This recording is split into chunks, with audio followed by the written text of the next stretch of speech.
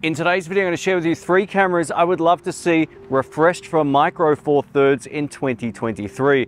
This will be great if you're a hybrid shooter, beginner, photographer, or videographer. So that's sort of like four categories, but there's a lot of crossover. So this video is just based off some things I would love to see released and also a few predictions, hopefully that come true.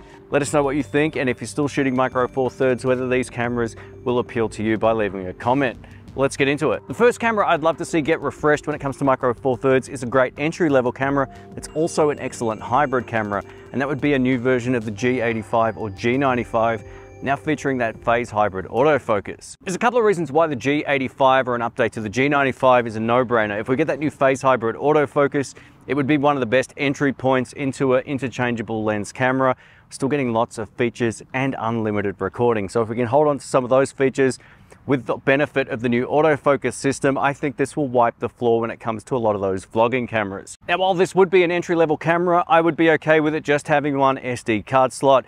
And if you need a camera with two, stay tuned. I'll talk more about those on the other models. But this would be a great point into an interchangeable lens camera system, giving you all the benefits of the video modes and photography in one with a really great IBIS system. So even if they could improve the IBIS slightly, or even if they didn't, the G85 had some of the best IBIS of its time and it's still very capable even in 2023. If the new version of the G85 gives us a 10-bit option, even if it's 420 instead of 422, I think this would be a game changer for Micro Four Thirds at an entry level price. It would wipe the floor with even cameras that are far more expensive from other brands that still aren't giving us 10-bit codecs. So I hope Panasonic just bump that up to 420 10-bit Again, doesn't have to be 422. I think as an entry level camera, that would be more than enough. The last addition I would love to see to this entry level camera is a BLK22 battery, the same that we find on the GH5 Mark II, GH6, or S5, S5 Mark II, and all of the others.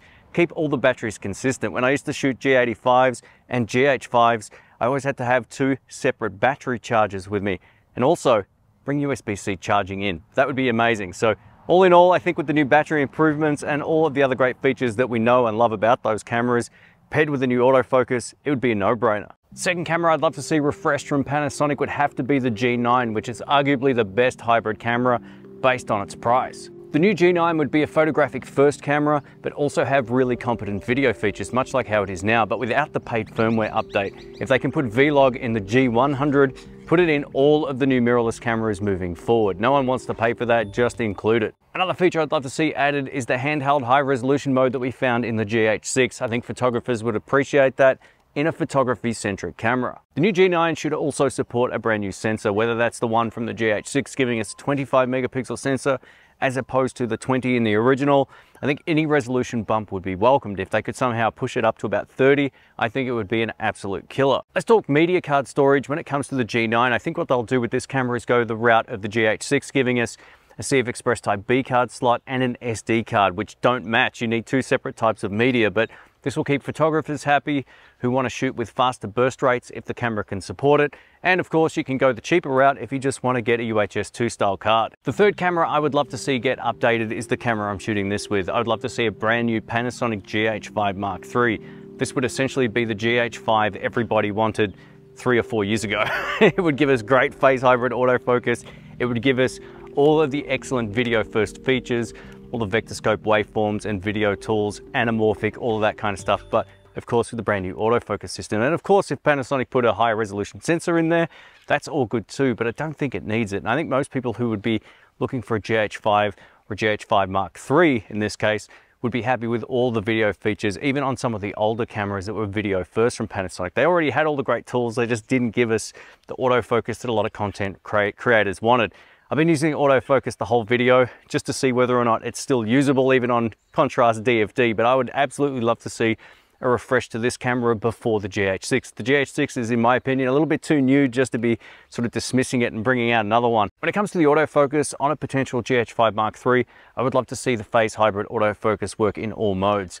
Maybe not in 180 frames per second or whatever the case may be, but just in all the standard video codec modes. So if you're shooting in 60 frames, 30 frames, 25, 24, whatever the case may be. I want that autofocus to work in every single mode. When it comes to the body design, keep it exactly the same as the GH5 Mark II or the original GH5. I don't want a bigger Micro Four Thirds camera for video. One of the reasons I used to travel with Micro Four Thirds extensively is for their smaller form factor, but the GH6 kind of tipped that on its head.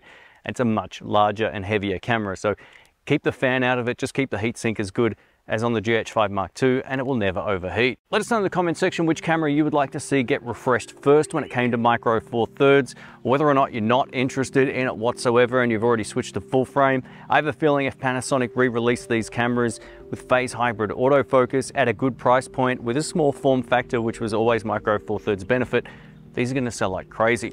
Thanks for watching, catch you soon. See ya.